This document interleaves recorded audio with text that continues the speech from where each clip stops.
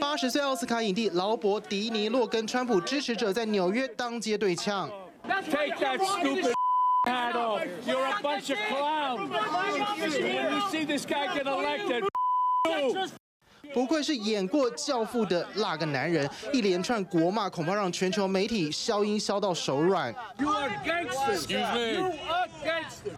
原来这天川普要出庭，纽约法院外挤满了川普支持者，一向挺拜登的劳勃·迪尼洛也来路过法庭外，怒呛川普。We'd forgotten the lessons of history that showed us other clowns who weren't taken seriously until they became vicious dictators. This is the time to stop him. 劳勃·迪尼洛警告川普，若是再当选，必将终身独裁。不过，为封口案出庭的川普再呛拜登司法追杀。I'm here because of crooked Joe Biden, the worst president in the history of our country. is destroying our country.